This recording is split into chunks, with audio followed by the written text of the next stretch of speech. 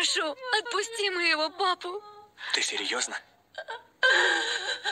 Что угодно. Я все сделаю.